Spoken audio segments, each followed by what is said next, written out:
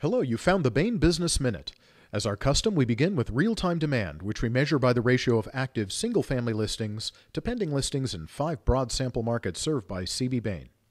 Sales typically slow during holiday periods, and this past week was no exception as the Puget Sound celebrated Independence Day.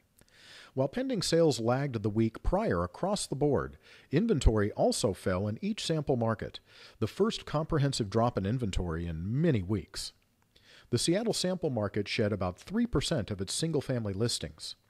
Inventory levels on the east side, Seattle, South Sound, and luxury markets are almost exactly where they stood 30 days ago, while the Snohomish market added roughly 100 listings during that same period.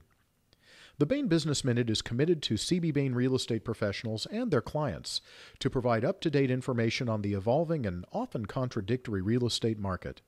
The value of its information is best when reinterpreted for highly localized use. As such, remember that an active, skilled, and knowledgeable agent is still the last word in understanding the market you have interest in.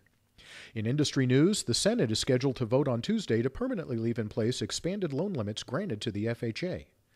Of particular value to the higher cost Puget Sound region, these newly expanded loan parameters are expected to increase FHA financing fivefold by the end of 2009. Other provisions, such as a homebuyer tax credit, are included in this permanent extension.